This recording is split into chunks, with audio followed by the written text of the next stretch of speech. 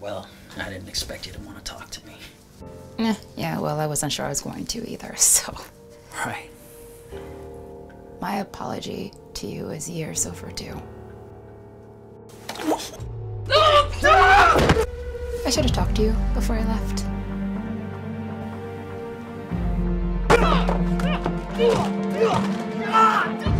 I panicked.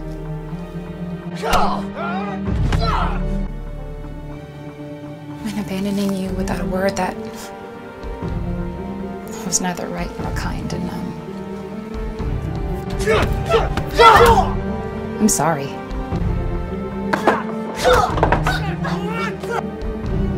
I was a coward.